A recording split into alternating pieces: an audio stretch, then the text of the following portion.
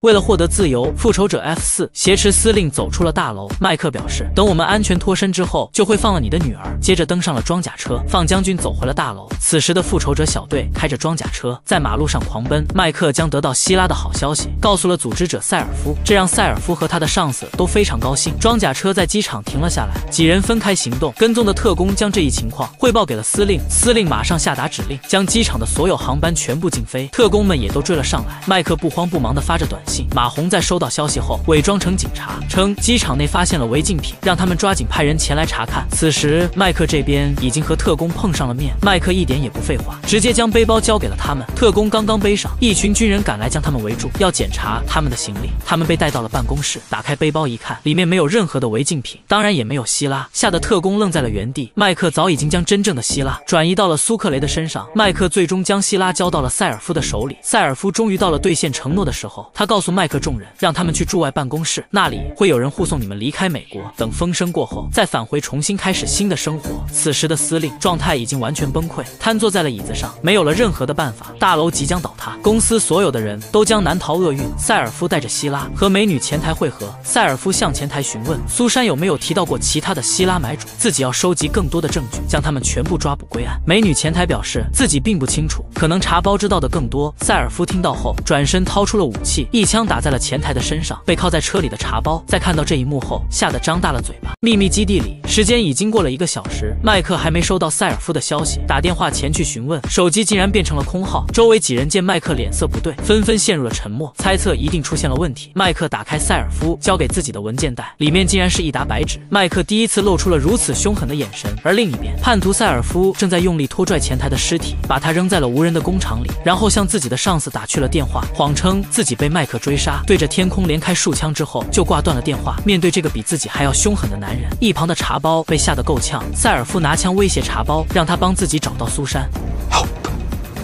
聪明绝顶的麦克知道自己被骗了，但他早就给自己留了一条后路。来到卫生间，拿出了一个小配件，偷偷给藏了起来。可就在这时，突然剧痛再次从脑中传来，他的病情现在已经十分严重，发作的频率也越来越频繁，随时都会有生命危险。国土安全局局长亲自来到了秘密基地，发现这里早已经人去楼空。局长给麦克打去了电话，让他回来好好谈谈。麦克说让他遵守当初的承诺。局长表示，承诺里并不包括偷走希拉和杀害联邦探员。麦克知道这一切都是塞尔夫。的谎言，但是局长肯定不会相信自己。放下电话，来到了小旅馆，几人正在商量着对策。电视里却正在报道苏珊和茶包持枪杀人的案件。司令也收到了这个消息，吩咐手下进行严密的布控，准备抓住两人。麦克猜测到被耍的不单只有自己，塞尔夫想方设法拿到希拉，肯定是为了钱，现在应该急于出手。而能帮助他售卖希拉的人只有一个，那就是苏珊。茶包曾经看过苏珊的资料，知道她还有一个妹妹。现在我们只需要找到她的妹妹，就可以找到苏珊。而另一边，苏珊来到了和亚洲男人。的交易地点，发现他们已经全部被杀。这时，苏珊突然接到了林肯的电话，两人互相说明了情况，知道塞尔夫正在寻找希拉的买家，他们约定一小时后在公园里见面。苏珊刚刚挂断电话，妹妹的电话就打了进来。复仇者小队来到了约定的公园，大家分散到了不同的角落，随时准备应对突发的情况，等待苏珊的到来。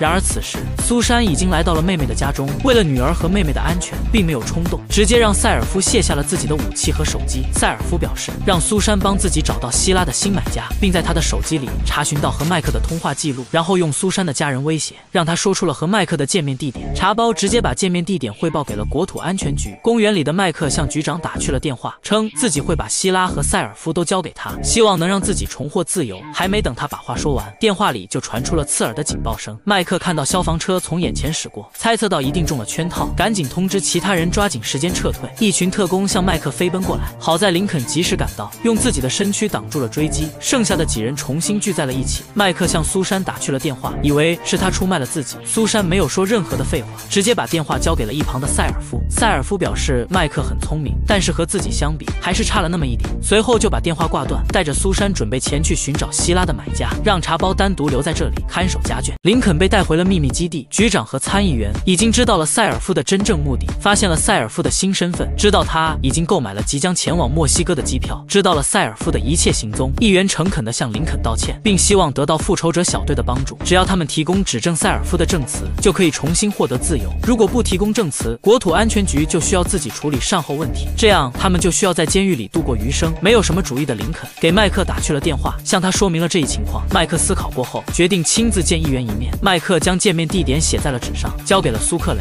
让几人在附近进行支援。几人来到纸条上的地址，才发现这里原来是一个长途车站。马红随即告诉两人，麦克是希望你们先离开这里，等一切安全之后再回来。马红说完就离开了。苏克雷和苏珊坐在候车室里，现在已经完全没有了主意，不知道该怎么办。麦克独自一人来到了秘密基地，见到了局长和议员，并将事情的经过完整的说了出来。两位领导来到了仓库外商量对策，没想到让他们十分相信的塞尔夫竟然会做出叛变这种事。他们俩没有经过国会的同意就擅自批准行动计划，会面临十五年的监禁。现在只能在第一时间将塞尔夫抓住，或者将所有有关的人斩草除根。回到基地后，他让麦克将小队的所有成员带回这里，却遭到了麦克的严词拒绝。局长这时掏出了手枪，准备威胁麦克，谁知突然一枪就打在了议员的身上。开枪的正是司令派来的特工。而另一边，苏克雷和萨拉并没有选择离开，而是重新回到了秘密基地。苏克雷偷偷来到基地内，拿出了事先藏好的武器，趁特工带走麦克的时候，用枪顶在了他的脑袋上。林肯没有丝毫的犹豫，抢下特工的武器，一枪就解决了他。接着拿枪对准了议员。议员称桌子上有一份文件，里面记录了这次行动的详细计划。摧毁后，没有人会知道这件事，请求麦克放过自己。林肯刚想开枪，却被麦克拦了下来。善良的麦克，心软是他最大的缺点。苏珊和塞尔夫来到了交易地点，将希拉递过去审核。几分钟后，买家将希拉还了回来，告诉塞尔夫，等你把希拉凑齐了，我们就可以接着谈生意。原来希拉少了一个关键部件，麦克早就将这个零件拆了下来，就是为了应对突发情况。没想到真的派上了用场。麦克的电话这时响了起来，果然是塞尔夫打来的，想要拿回属于自己的东西。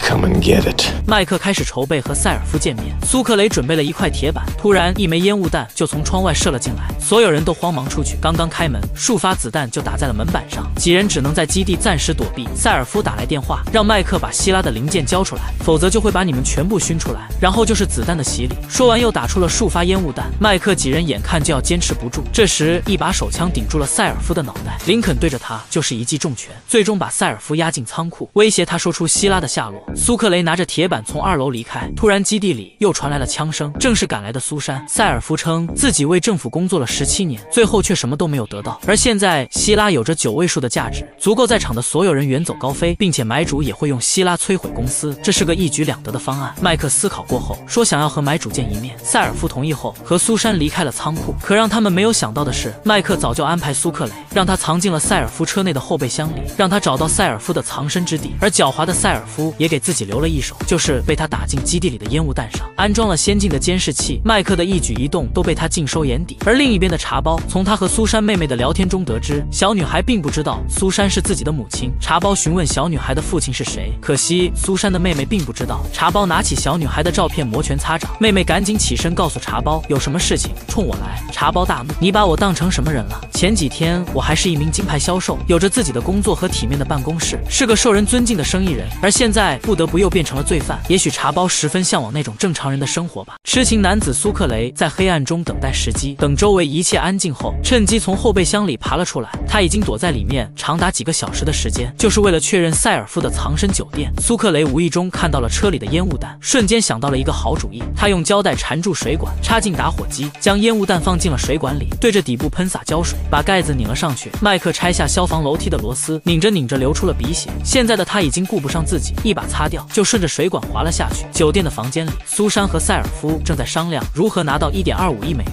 就在这时，电话响了起来，前台告诉两人，刚才有一男一女在找你。两人知道自己暴露了位置，苏珊持枪出来查看情况，向楼下走去，一脚踢开躺在过道里的流浪汉。哪知道流浪汉上去就扑倒了他，对着苏珊就是连续的几炮子。塞尔夫则留在房间里看守希拉，不断的向外张望。可是林肯的烟雾弹早已经对准了他，紧接着一枚烟雾弹就被射进了屋内。塞尔夫赶紧拿起。起手枪，带着希拉跑出屋子，看到了正在打拳击的两人，只好转身另找出路。两人已经打得十分激烈，双方的身上都受了伤。曾经是雇佣兵的苏珊开始占据上风，不断的攻击苏克雷的伤口。在放倒苏克雷后，苏珊捡起手枪，准备将他干掉。萨拉在身后出现，一把将他推下了楼梯。塞尔夫带着希拉找到了消防楼梯，可这里早已经被麦克动了手脚，顺着楼梯就滑了下去，摔得塞尔夫人仰马翻。麦克上去对着他就是一拳，夺走了价值连城的希拉。麦克拿起希拉就飞奔起来，没想到剧痛又再次从脑中传来，流出鼻血，甚至还在逃跑。无论麦克的意志如何强大，最后再也坚持不住，顺着栏杆晕倒在了地上。苏珊顺着楼梯向外走去，对着迎面而来的林肯就是一枪。公司的特工也赶到了酒店外面，一阵激烈的枪战过后，苏珊成功抢下了特工的汽车，快速离开了这里。麦克脑瘤发作，晕倒在了地上。后来居上的塞尔夫成功抢回希拉，就在准备开枪解决麦克之际，公司赶来的特工一枪打在了他的耳边。苏珊迅速开车插了进来，把塞尔夫成功接走。倒在地上的麦克在神志不清的情况下，任由公司特工抬上了汽车。赶来的林肯想上前救援，此时也已经无能为力。苏克雷来到酒店房间，看到了电脑上播放的画面，正是秘密基地。瞬间想到藏起来的希拉零件被塞尔夫发现了，急忙赶回基地。可惜塞尔夫已经提前赶到了这里，来到卫生间，找到了藏在天花板里的希拉零件，完好无损的安装在了希拉上。身后的苏珊这时露出了真面目，拿枪对准了塞尔夫的脑袋。可惜他他的女儿还在塞尔夫的手上，只能眼睁睁的看他离开。被公司抓走的麦克已经躺在了病床上，医生给他注射了镇静剂，把他推进了先进的医疗设备中，准备做全身大检查。而另一边，负责看守的茶包，这时门铃声突然响了起来。门口的男人声称自己出售圣经，为教堂筹集善款。茶包本想随便应付几句，将他支走，可是，在看到男人手上的戒指时，一记重拳将他击倒，把他绑在了椅子上，审问他是不是公司派来的特工。男人被吓得够呛，一直强调自己是教教堂的牧师。苏珊的妹妹也在一旁连连解释。茶包拿起他手上的戒指，上面写着九八级军校毕业，用枪指着他的头。男人急忙大喊：“这个戒指是弟弟生前的遗物，他去年在一场暴乱中死去。”茶包这时竟然犹豫了，向塞尔夫打去电话询问意见。塞尔夫的回答言简意赅，为了不生是非。让他尽快处理掉。茶包用断手敲了敲自己的脑壳，在房间里铺上塑料布，将男人放倒，拿枪对准了他。茶包看到男人脖子上的十字架，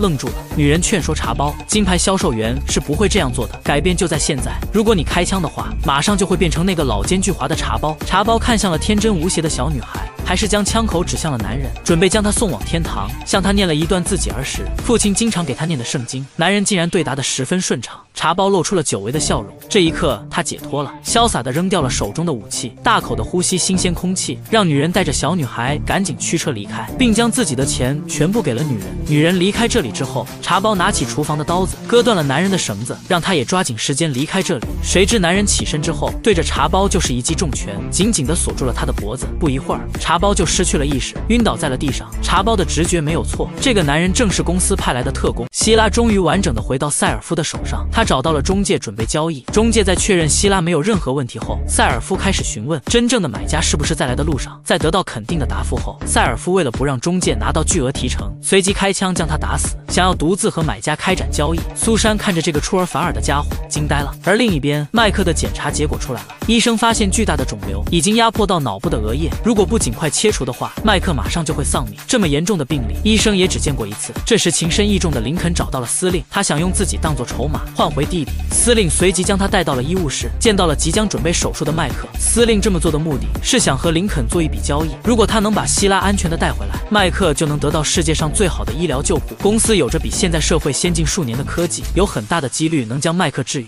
还递上了一份写着墓碑的黑色文件，让林肯好好考虑。为了能够把弟弟治好，林肯同意了。萨拉也来到了手术室，他现在的能做的只有守在麦克的身边。医生告诉麦克，手术途中需要被麻醉，但同时也要在手术的过程中保持清醒，这样才能保证肿瘤得到切除的同时不会对你造成任何的损伤。此时的麦克还以为自己身在医院中，询问萨拉林肯在哪。麦克的手术即将开始，林肯也开始为公司准备夺回希拉。首先是审讯被特工带回公司的茶包，茶包想要用。用自己手中极具价值的信息来换回一点甜头。谁知林肯一拳就打在了他的脸上，拿着提前准备好的老虎钳，硬生生的拔掉了茶包的牙齿。正准备拔第二颗大门牙时，茶包马上说出了希拉的交易地点和时间。眼看交易的时间即将到来，林肯马上找到了好兄弟苏克雷，带着他一起前往交易地点。为了确保麦克的手术顺利进行，萨拉询问医生：“你们用伽马刀做过多少例手术？”医生说：“伽马刀手术有百分之十三的复发率，但是他们有更先进的设备和技术。”麦克的手手术开始了。医生先用一把电钻打开了麦克的脑袋，再把两根棍子插了进去，并询问麦克有没有什么感觉。萨拉问棍子可以起到什么作用，医生马上解释道：“棍子是用来刺激麦克的大脑，帮助触发视觉、嗅觉和记忆的。”此时的麦克记忆在脑中疯狂交错，随即陷入了一片黑暗之中。他竟然回到了狐狸和监狱的牢房里。麦克见到了自己的老朋友库珀，他的怀里依旧抱着那只最喜欢的猫咪。医生拔出了棍子，重新把麦克带回到了现实当中。医生现在准备开始切除肿瘤，为了确认麦克是否保持清醒，开始让他背诵英文字母。如果想不起来，一定要及时汇报情况。铁棍再一次被插进了大脑，麦克的口中开始默念字母，意识又再一次回到了监狱里。墙上布满了曾经的记忆。麦克向库珀道歉，在这条没有归途的道路上，已经有很多人因他而死。麦克再次看向了墙上的记忆简报，似乎想到了什么，随之现实中的身体出现了一阵抽动，这让在场的所有医生都为之一震。麦克的血压骤降，此时麦克的脑部活动异常剧烈。就在这有关生死的紧要关头，萨拉不顾一切地冲进了手术室，不停地想要唤醒沉睡的麦克。还停留在意识空间里的麦克大声地回应着，最终在萨拉的呼唤下，麦克终于苏醒了过来，两人拥抱在了一起。而另一边，叛徒塞尔夫终于见到了真正的买家。买家打开了手中的箱子，里面又是检查希拉的仪器。塞尔夫很不情愿地把希拉递了过去。买家开始读取里面的数据，里面的文件夹名称显示能源、科技、医疗、教育，根本不像是公司的黑名单。就在这时，几人被苏克雷发出的声音惊醒。苏珊和塞尔夫持枪查看情况，谁知买家举起手枪，一枪就打伤了塞尔夫，抱起希拉就向外跑去。最后，塞尔夫和苏珊被林肯抓住，而买家早已经不知道了去向。麦克从病床上苏醒过来，萨拉告诉他，这是公司为你做的手术。麦克没有感觉到一丝的惊讶，拿起旁边的写字板，将记忆中交易的单词拆分，竟然是四种稀有元素的化学周期表。如果将这些元素结合到太阳能电池的设计当中，就能百分百的利用太阳能。一旦拥有这种力量，将会有无限的可能。所有人费尽心思的想要得到希拉，并不是想要摧毁公司，而是都想成为下一个公司，这样就可以控制一切。林肯和苏克雷回到了公司，痴情男子苏克雷表示，现在麦克已经恢复，自己已经放心，他不想再过这种打打杀杀的生活。林肯非常感谢苏克雷所做的一切，两人相互拥抱告别。苏克雷转身去追寻自己的幸福。林肯回到公司，见到了大病初愈的弟弟，将自己和司令做交易的事情告诉了麦克。麦克不解林肯为什么要这么做，重情重义的林肯称，这就像你当初纹身来监狱里救我一样，无关生死，做任何事情都可以。林肯随手将一份文件交给了麦克，称我们的母亲曾经也为公司工作，我们只不过是替家族继续工作而已。说完转身就离开了房间。画面一转，麦克从一栋别墅中醒来，他被囚禁在了这里，房间的大门被锁死，院子里还有特工监视。麦克在房间里搜索，希望能找到一些有用的东西。这时房门被打开，男人声称自己是一名心理医生，他是司令派来给麦克洗脑的。医生称麦克现在对公司的看法都是建立在在对公司错误的理解上，自己来到这里的目的就是来告诉麦克有关公司的真相。称麦克的父母都曾是公司的元老，并且麦克的母亲现在还在为公司工作。听到这里，麦克愣住了，他不敢相信自己的母亲竟然还活着。医生告诉麦克，母亲远离你们就是为了保护你和林肯的安全。如果麦克也加入公司的话，就可以见到自己的母亲。林肯来到迈阿密追踪希拉买家，身后还跟着刚刚组建的邪恶三巨头。司令强迫他们组成队伍，为了得到价值连城的希拉，四个人都有着不同的小心思。林肯根据线索找到了当地的一所酒吧，在形容过买家的长相后，老板的表情开始变得不自然起来。为了得到有用的线索，林肯选择直接使用暴力，将两名店员打倒。一旁的女店员吓坏了，告诉林肯自己并不认识买家，但是他的女友在这里上班。林肯将女店员带到了车上，让她指认了刚来上班的女人。林肯下车向她走去，貌似感觉有些不对，转身就看到有人持枪躲在车后，双方爆发了激烈的枪战。原来车里的女店员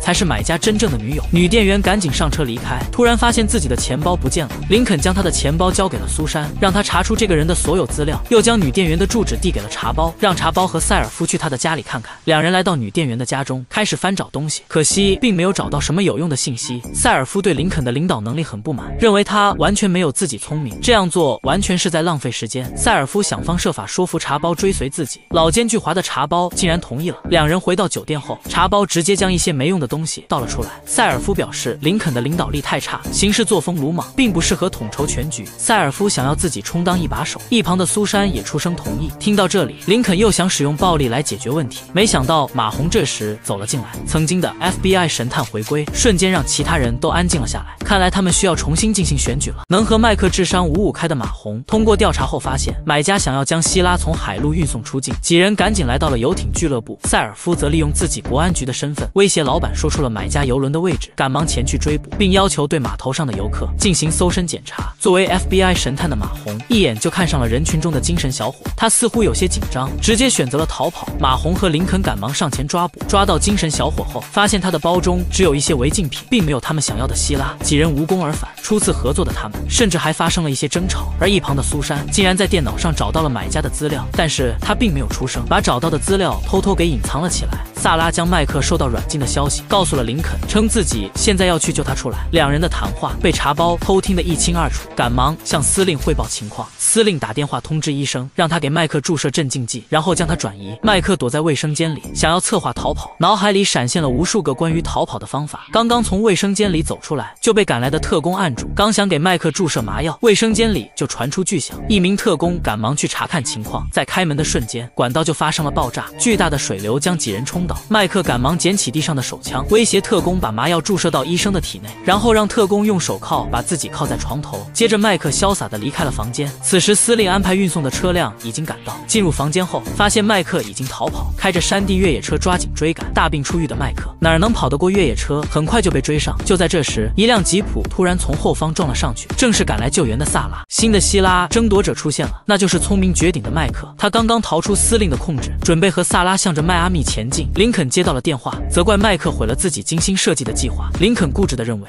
只要将希拉交给司令，所有人都会回归平静的生活。知道希拉秘密的麦克完全不同意林肯的想法，他会竭力阻止林肯，直到公司被摧毁。兄弟俩对于希拉都有着各自的看法，双方都不想相互妥协，直接挂断了电话。麦克花费一百美元，成功买通了司机，躲进了卡车车厢里。至此，兄弟俩从亲密无间的战友变成了对手。苏珊正在和买家密谈，他想用一千万美元的价格来帮助买家躲避。公司的追捕，以解决买家的后顾之忧。在得到买家同意后，苏珊接着以找到买家当做理由，引诱众人来到了一处大楼前。就在这时，买家突然包围上来。苏珊也持枪对准了塞尔夫，塞尔夫气得直接破口大骂，把苏珊的全家都给问候了一遍。苏珊这时想起了自己的女儿，枪口接着又指向了买家，直接打倒了两名特工。苏珊坦言，相对于金钱，自己更想回到正常人的生活。买家开始举枪反击，马红瞬间将他击倒，苏珊也中枪倒在了地上。茶包随即掏出了买家身上的钥匙，林肯持枪对准了苏珊，塞尔夫让林肯开枪解决掉苏珊，而茶包则称他还有一个八岁的女儿。林肯最终心软了，把苏珊独自。扔在了这里，让他自生自灭。几人回到了酒店，都在思考自己的未来。买家的手机这时响了起来，林肯接通电话，对面没有出出声。林肯声称：“你的人已经死了，不管你是谁，我都会找到你。”对面的女人在挂断电话后，拿着希拉望向窗外，她正是兄弟俩的母亲蒂娜。林肯收到了几封标注姓名的文件，打开后一看，着实吓了一跳，里面有茶包的母亲马红的前妻，林肯的儿子。塞尔夫的女友，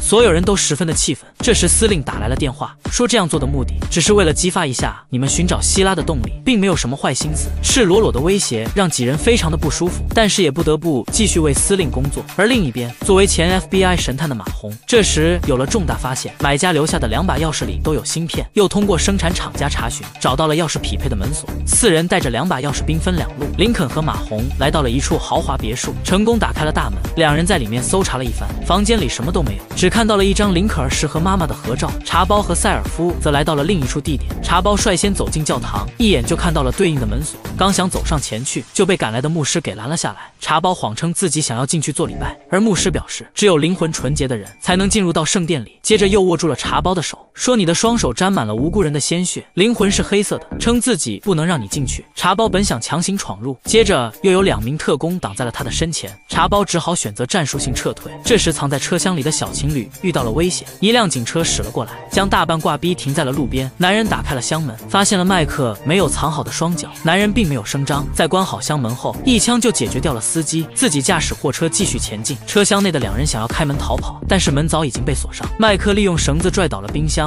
成功撞开了货车的侧门，和萨拉一起跳下车来。男人发现不对，赶紧下车追赶，两人跑进了草地，来到一处废弃的小屋。萨拉拿起铁棍，趁男人不注意，一棍子就将他击倒。男人的脑袋碰在了石头上。麦克在男人的怀里发现了一张纸条，男人弥留之际说自己不是司令派来的。麦克本想细问，可惜男人已经断了气。林肯和马红仔细检查照片，发现里面的车是七八年生产的，而麦克是在七六年出生，显然怀孕的母亲是不可能站在这辆车前拍照。马红通过搜索车牌照发现，车牌其实是一个坐标，位置正好是六公里外的酒店。茶包和塞尔夫这时赶了回来，茶包称教堂戒备森严，需要人手。林肯让其他人先赶往教堂，自己则要去见一见留下照片的人。而另一边，司令和持卡者正坐在车里商量计策。持卡者和司机这时突然走下车来，坐上了另外一辆车。而司令发现自己的安全带已经被锁死，一脚踹开了车里的红酒柜，拿出开瓶器疯狂撕扯安全带。持卡者在离开一段时间后，按下了手中的遥控器，司令的车辆随即发生了爆炸。麦克的母亲给持卡者打去了电话，告诉他司令还活着。一架直升机突然起飞，带回了重伤的司令。知道自己没有干掉司令的持卡者，赶紧说道：“自己现在要赶紧消失，躲避司令的追杀。”蒂娜让他打开了手机扩音器，向司机下达了命令。司机一枪就解决掉了持卡者。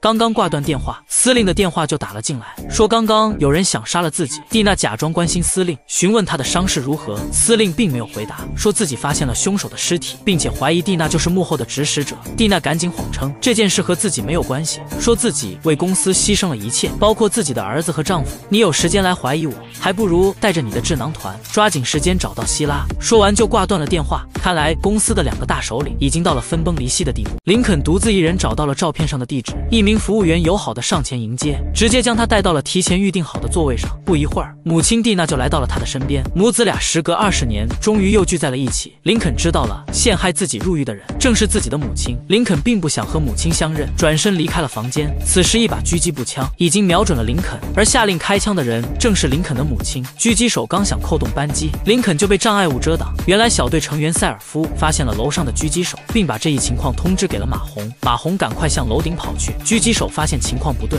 收起武器准备离开。马红刚刚到达楼顶，就遭到了狙击手的射击，好在躲闪及时。狙击手赶忙加大火力，趁机逃跑。刚刚来到楼下，就被赶来的林肯一下扑倒在地，向他威胁蒂娜在哪。看到这一幕的路人想要报警，狙击手趁机一刀捅在了林肯的身上，起身就要逃跑，可惜没跑多远就被赶来的茶包撞倒。几人合力将他团团围住，掏出了他的手机，在警察赶来之前离开了这里。几人回到了酒店，神探马红发现狙击手的通话记录中有一个经常联系的号码，但是需要公司查询号码的来源。这时司令的电话打了进来，询问林肯希拉到底在谁的手上。林肯并没有把自己的母亲供出来，只是说现在还没有查到。听到这里，司令开始质疑林肯的能力，称再给林肯最后一天的时间。说完就挂断了电话。马红让公司查出了狙击手通话记录中的号码定位，开车追了过去，竟然来到了大使馆，而下车的人正是兄弟俩的母亲。林肯几人准备前进大使馆盗取希拉，将分散注意力的任务交给了爱耍嘴皮子的茶包。茶包大摇大摆的来到大使馆门口，开口就要找印度总统谈话，称自己对他们奴役大象的事情非常不满，表示大象是最聪明的动物，他们应该自由自在的生活在雨林里。接着茶包拿出手铐，把自己铐在了大使馆的门口，来表达自己的不满。三人见此机会，趁机翻墙来到院子里。茶包见人越聚越多，此时更加的来劲，称自己还要给联合国组织写信举报。另外三人来到了后门，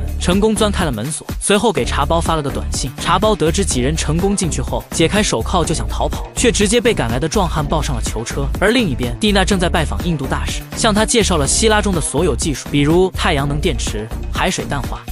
超级粮食等，蒂娜让印度负责制造和销售，称自己不会干预你们的运作，利润则要五五分成。大使面对如此尖端的科技，明显来了兴趣。蒂娜邀请大使参加明天的能源革新会议，然后走上台前，在众多国家首脑的面前展示这项技术，准备将希拉彻底的正规化。此时大使还有些顾虑，因为能源学家文森教授通过研究发现，这些技术的实际应用还不成熟。如果他在明天的能源大会上出声反驳，那么印度就会成为众矢之的。蒂娜说自己来搞定文森教授，让大。时好好考虑。这时，助手递过来一张纸条，上面写着文森教授四点半下飞机。而这时，麦克正在破解杀手身上的纸条，只分析出 M.S 是自己名字的缩写，字母 V.S 还不知道是什么意思。按照上面的信息，找到了一处停车场，在一辆车前停了下来，拔下了车辆的天线，捅开主驾驶的车门。这正是苏克雷教给他的方法。俩人成功来到车内，翻找到了一个黑色手提箱，里面有手机、车钥匙、一张地图和一把手枪。麦克告诉萨拉，纸条上的 V.S 很可。能是名字的缩写，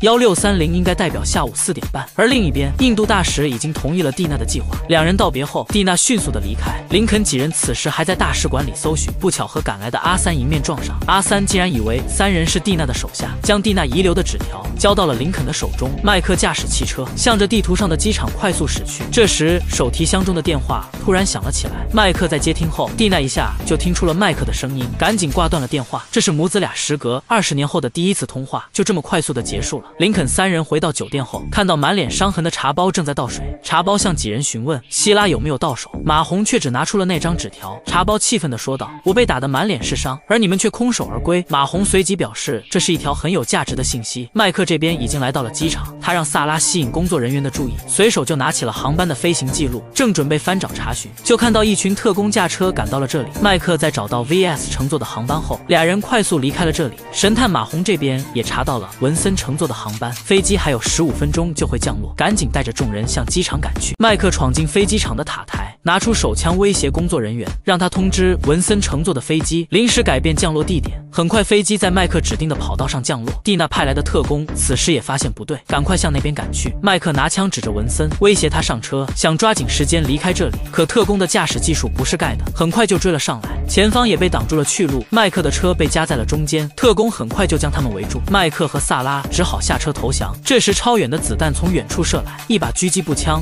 把特工通通杀死。解救麦克和萨拉的正是赶来的马红。几人走上前带走了文森。林肯告诉麦克不应该来这里。他这么做的原因都是因为家人，兄弟俩的第一次交手以林肯获胜告终，但麦克也不会就这样放弃。独自留在酒店的茶包正在抚摸母亲的照片，一番思考过后，给司令打去了电话，向他报了一个大猛料，称希拉在林肯母亲的手上，现在就在迈阿密。听到这里，司令直接接挂断了电话，马上安排私人飞机前往迈阿密。林肯几人正在审问文森，希望能从他的嘴里得到一些线索，可对方连蒂娜都没有听说过，更不知道希拉是什么东西。他表示自己只是一名大学的教授。来到迈阿密的目的是来参加一场能源会议。林肯翻找他的外套，可惜并没有找到手机，只有一张文森的名片。而教授的手机已经跑到了萨拉的手上。通过查询发现，文森和蒂娜之间的联系非常频繁，似乎在一起交流什么项目。就在这时，萨拉突然感到不适，独自来到卫生间，拿出验孕棒，竟然发现自己怀孕了。现在萨拉的内心五味杂陈，不知道这件事情该不该告诉麦克。明显现在的处境并不适合生儿育女，但是这是两个人爱情的结晶，怎么会轻易放弃？狡猾的文森教授让林肯几人放过他，再次强调自己根本不认识蒂娜，也不知道希拉是什么东西。这时，林肯的电话突然响起，正是弟弟麦克打来的。麦克告诉林肯，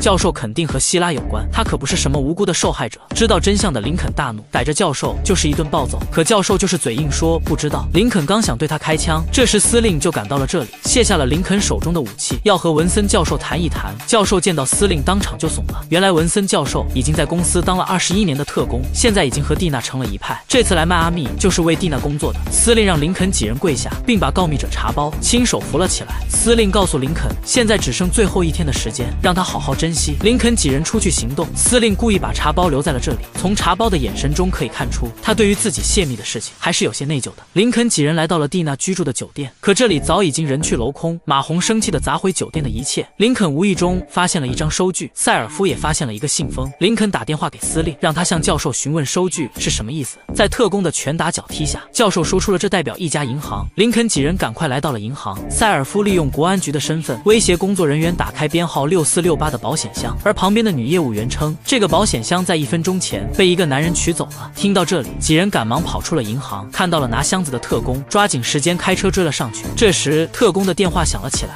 大使告诉他，现在蒂娜已经消失了，如果五点之前联系不上他，就取消交易。聪明绝顶的麦克正在捣鼓手中的化学试剂，用偷来的手机给自己的母亲打去了电话，要求母亲把希拉交给自己。但是母亲这边已经对麦克的手机进行了定位，马上开始了抓捕。几人很快驱车来到了定位地点，持枪走进了仓库。而麦克这边拿着一包东西，找到了他们的汽车，把东西塞进了空调出风口里。仓库内的特工并没有发现麦克的身影，但是听到了有人开车逃跑的声音，抓紧时间上车。准备追赶，可就在车辆打火的瞬间，空调出风口里喷出了大量的白色烟雾，几人被熏得晕头转向，打开车门想要下车逃跑，可惜已经来不及了。麦克扶起昏倒的母亲，把她塞进了后备箱里。等母亲醒来时，她已经被绑在了一张椅子上，对面坐着的正是自己的儿子麦克。蒂娜本想用亲情说服麦克，让他放了自己，可惜这招对麦克并不管用。接着又开始挑拨起麦克和林肯的关系，但是麦克意志坚定，根本不为之所动。蒂娜只好提出和麦克进行合作，但是麦克要先见到希拉，再谈下一步的合作计划。蒂娜根本不想拿出希拉，现在他和麦克之间已经没有了所谓的亲情，有的只是利益。麦克失望的离开了房间。萨拉见麦克的情绪异常低落，准备亲自和蒂娜谈谈。萨拉来到蒂娜的身边，蒂娜一眼就看出萨拉怀有身孕。听到这里，萨拉本能的想要保护腹中的孩子。蒂娜还猜到麦克并不知道萨拉已经怀孕的事实，随便几句话就击溃了萨拉的心心理防线，只能先离开了房间。麦克也不想和蒂娜再说废话，直接割断了蒂娜的绳索，让她带自己去找希拉。蒂娜这时说出了一个事情的真相：林肯并不是你的亲哥哥，你们兄弟俩一个是蓝眼睛，一个是绿眼睛，并且在智商上也不对等。麦克并不想相信蒂娜的鬼话，但是面对种种证据，麦克早就注意到了，原来林肯的父母也曾是公司的特工，在一次行动中不幸双双牺牲。麦克的父亲不顾蒂娜的反对，这才收养了三岁的林肯。生气的麦克直接把母亲拖进了卫生间里，打开水龙龙头威胁他。蒂娜见麦克动了真格，终于开口说：一小时后，海岸酒店里将举行能源会议，希拉和林肯届时都会在那里出现。得知线索的麦克此时陷入了沉默，关掉了水龙头之后便离开了卫生间。而蒂娜此时正在卫生间里观察，想找到可以逃出去的方法，露出的神态简直和麦克一模一样。而另一边，出卖兄弟的茶包正在受到司令的表扬，称事情如果进展顺利，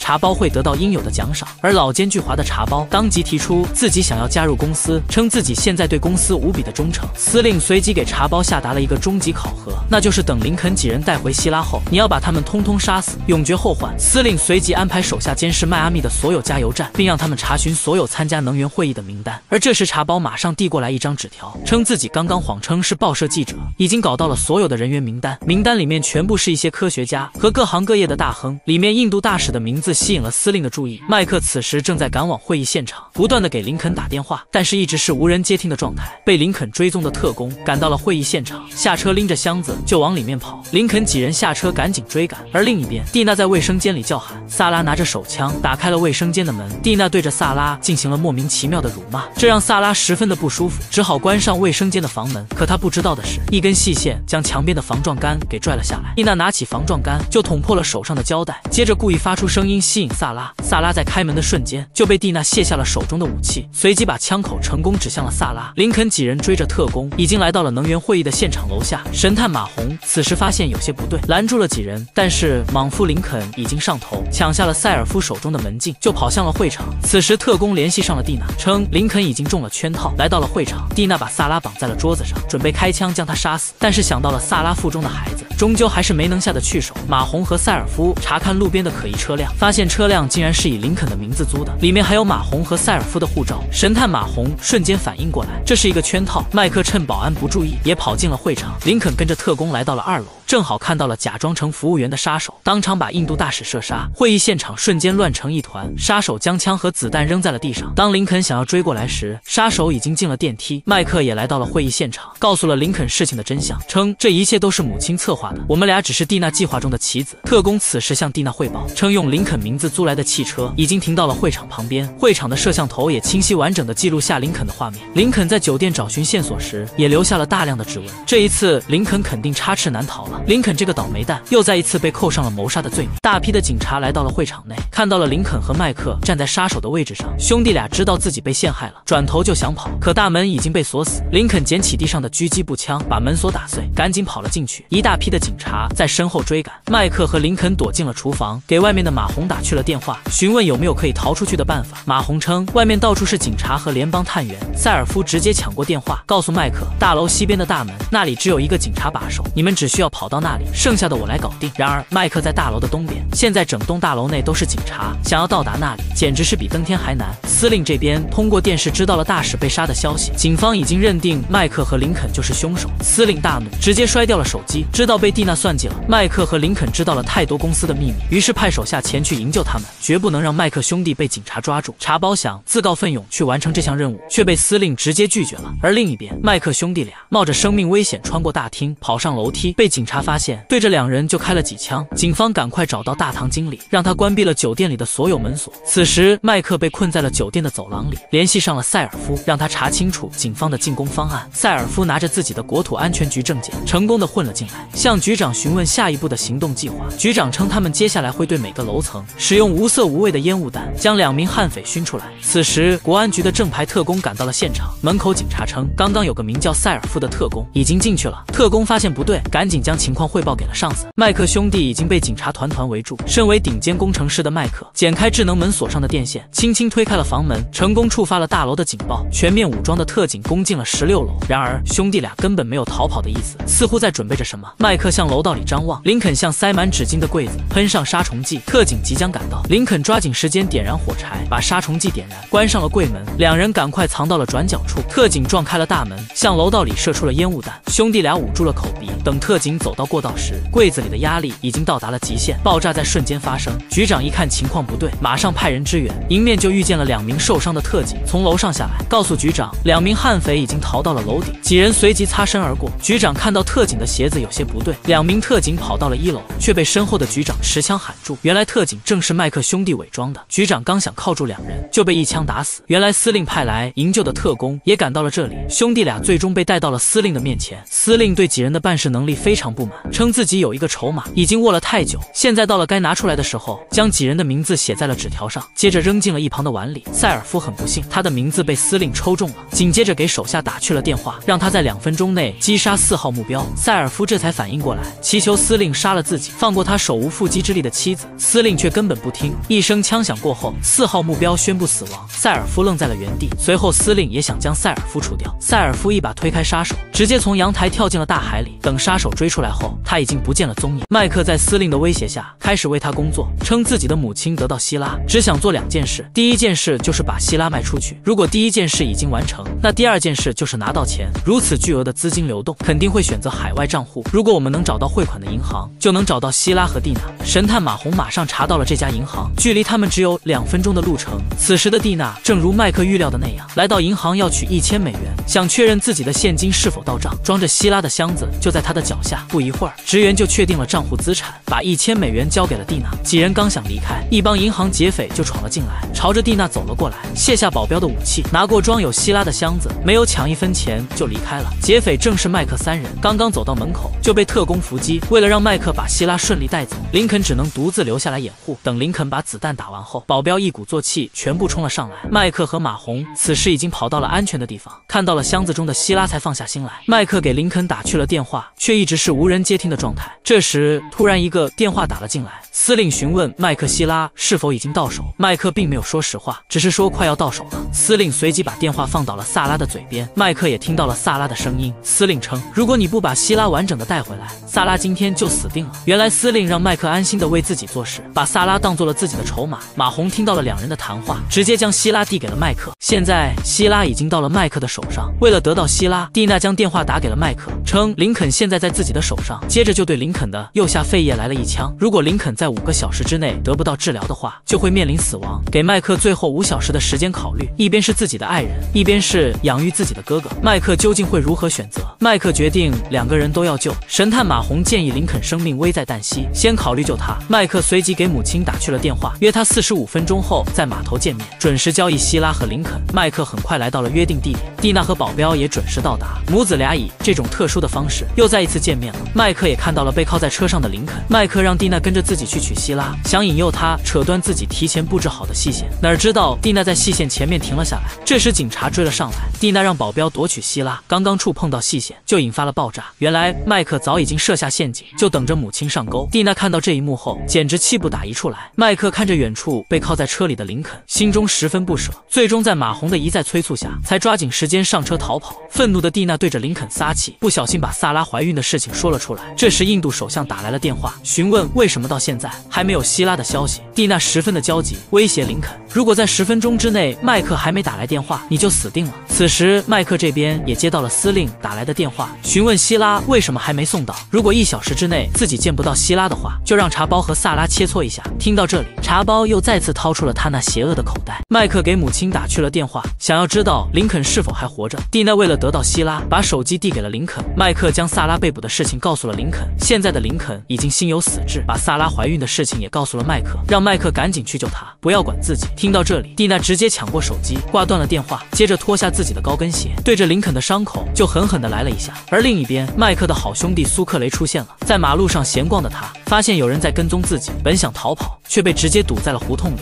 车上下来的人，苏克雷根本没有想到，竟然是好久不见的本杰明。两人来到了咖啡馆，他想要打听麦克和林肯的下落。苏克雷一听这话，直接起身就要走，本杰明把他拦了下来，表示自己是来帮助麦克他们的。现在电视上到处都是麦克兄弟的新闻，刺杀大使、抢劫银行，简直比电影明星还忙。知道他们陷入了大麻烦，想让苏克雷找到他们，声称自己认识一个想要得到希拉的大人物，他能抹去所有人的犯罪记录，能让他们回归到正常人的生活当中，不用再这么提心吊胆的过日子。本杰明带着苏克雷来到了马路上，见到了这个自称克里曼的男人。而另一边，印度首相迟迟没有见到希拉，告诉蒂娜交易取消。蒂娜无论如何哀求都没有用，首相根本不听解释，直接挂断了电话。蒂娜随即拿枪指向了林肯，称：“你们毁了我七十五亿美元的生意。”正要准备开枪解决林肯时，马洪的电话打了进来，称麦克已经拿着希拉去救萨拉，但是我想和你做一笔交易，如果你能帮我前妻摆脱司令的监视，并且还要保住林肯的性命，我就抢回希拉交给你。司令准时来到交易地点，并没有看见麦克，发现箱子里也什么都没有。司令反应过来自己被骗了，抓紧时间回去。此时的麦克正在去解救萨拉，趁保镖不注意，爬上了二楼。茶包把萨拉固定在了门上，正准备相互切磋一下，就被麦克打翻在地。麦克想要给茶包致命一击，却被萨拉给拦了下来。马红这边也见到了蒂娜，将希拉交给了他。蒂娜称要先检验一下希拉是否完整，把马红关进了房间里，正好看到了奄奄一息的林肯。马红说自己是来救他的。原来麦克和马红已经商量好，麦克去救萨拉，马红去救林肯。希拉也提前被麦克做了手脚，已经用小型定时炸弹替换了重要的零部件。蒂娜的手下在检查希拉时，发现里面的数据无论如何都打不开。而他们不知道的是，希拉内部的定时炸弹已经开始了倒计时。马红想要直接干掉蒂娜，可到了关键时刻，遥控器竟然失灵了。蒂娜突然开门，询问希拉为什么打不开。马红随即坐到了电脑前，趁蒂娜不注意，手动开启了引爆装置。突然起身将保镖打倒，一脚踹开蒂娜，接着快速跑进了房间。蒂娜看情况不对，直接把保镖当成了盾牌。马红扶着林肯走出了大楼，登上了离开的汽车。马红告诉麦克：“你的母亲死在了爆炸中。”麦克看向被炸毁的窗户，陷入了沉默。而另一边，司令对茶包没有看守好萨拉的事情非常生气，认为茶包就是一个废物。正准备开枪解决掉茶包的时候，萨拉忘在这里的手机突然响了起来。茶包知道这是自己的救命稻草，赶紧接通了电话。没想到对面竟然是苏克雷。苏克雷想知道麦克兄弟的下落，茶包则称这里电话会被窃听，他们约定了见面地点，准备详谈。茶包转身就对司令说道：“苏克雷是麦克的好兄弟，只要抓住他，就会把麦克引出来。”茶包在特工的监视下来到了见面地点，苏克雷也直接走了过来。茶包让苏克雷直接跟着他走，称自己背后坐在长椅上的家伙是公司的一流杀手，他瞬间就能打爆你的狗头。谁知苏克雷根本不怕，等茶包再次回过头时，杀手已经躺在了椅子上，紧接着一把手枪就顶在茶包的背上。苏克雷抢过萨拉的手机，将茶包带到了一个房间里。苏克雷和本杰明想要知道麦克和司令的下落。本杰明告诉茶包，现在有一份赦免名单，只要你能说出司令的下落，这份赦免名单上就会有你的名字。茶包包根本不相信本杰明的话，他认为最后的胜利者一定是司令。本杰明见茶包的嘴比鸭子还硬，直接一拳打在了他的脸上。而另一边，跳进大海的塞尔夫已经躺到了医院里，身边的探员不依不挠，让他说出麦克兄弟的下落，甚至不让医生对他进行抢救。麦克几人带着林肯回到了基地，正在麦克几人不知道如何处理希拉时，克里曼终于联系上了麦克，称自己在被杀前被某个神秘组织所救，而创始人正是麦克的父亲。现在自己正在为他们工作。这个组织的成立就是为了对抗公司，表示下午五点会有联合国专员到迈阿密找你要希拉。如果麦克能把希拉交出来，自己就会将所有人的罪名抹去，重新回归到正常人的生活。已经被骗过无数次的麦克，不知道该不该相信克里曼，毕竟曾经这个人多次追杀过自己。此时林肯的伤势已经越来越严重，急切的需要治疗，看来必须要结束这一切了。医院里，特工还在逼问麦克的下落。塞尔夫这次也终于仁义了一回，冒着得不到治疗的危险，也没有供出麦克。萨拉也来到了这所医院，偷偷换上了白大褂，进入到药房里。拿取林肯治疗所需的药物，马红则在外面吸引医生的注意。没想到身后的特工发现了他。当萨拉拿着药物走出来时，看到马红已经被逮捕，只好独自回到了车上，先给林肯做必要的治疗。这时车窗突然被打碎，来人正是司令手下排名第一的杀手。三人再次被带到了司令面前，司令随即打开了电视，里面播放的画面竟然是林肯的新任女友索菲亚，告诉麦克，如果现在不把希拉交出来，索菲亚就死定了。麦克知道，就算把希拉交出来，司令也不会让他们活着走出去。就在这时，神兵天降，有人潜了进来，对着司令的手下连开几枪，让他们全部身亡。局势在瞬间就被扭转。麦克威胁司令，让他打电话放了索菲亚。光杆司令只能照做。在看到电视画面中的索菲亚离开后，把司令绑在了楼梯上。麦克带着众人快速离开。此时远处已经传来了警笛声。苏克雷看来不急了，选择驾驶另一辆车拦住了警车，为麦克几人成功争取了时间，自己却被逮捕。把所有的希望都寄托在了麦克的身上。麦克来到了安全的地方，想要打电话联系上克里曼，却发现电话一直无人接听。突然，几名特工闯了进来，麦克等人慌忙躲避。来人正是母亲蒂娜，进来就开始翻找，果然在柜子里找到了希拉，转身就想离开，却被麦克持枪威胁，让他放下武器，交出希拉。蒂娜断定麦克不会开枪，没想到麦克真的扣动了扳机，可惜枪内这时竟然没有了子弹，天平再次倾斜。蒂娜举起了手中的枪，刚想解决掉麦克，身后的子弹。就打在了他的身上，麦克的肩膀这时也中枪了。麦克根本没有时间治疗，忍着身体传来的剧痛，带着希拉去和克里曼会合。沿途左顾右盼，周围的一切都让他十分的警觉。